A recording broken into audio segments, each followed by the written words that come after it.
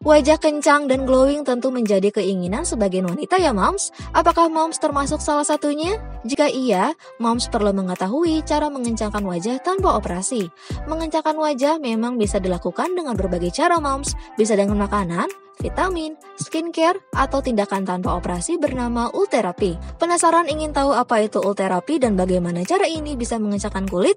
Sebelum tonton videonya, jangan lupa like, komen, subscribe, share, dan nyalakan lonceng notifikasi supaya tidak ketinggalan video terbaru dari Nakita.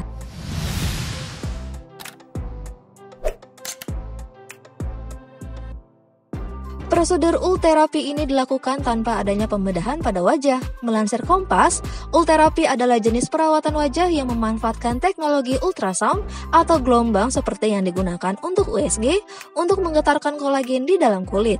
Getaran tersebut akan menimbulkan panas dengan suhu sekitar 60 hingga 70 derajat Celcius. Panas dengan suhu tersebut merupakan kondisi yang baik untuk kembali mengencangkan kolagen pada kulit.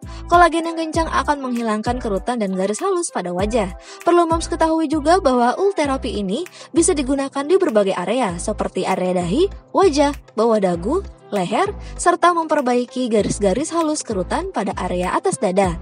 Moms bisa mencoba salah satu perawatan ini untuk mengencangkan kulit-kulit yang gendur atau berkerut. Biasanya, kulit yang mudah memiliki kerutan adalah garis senyum.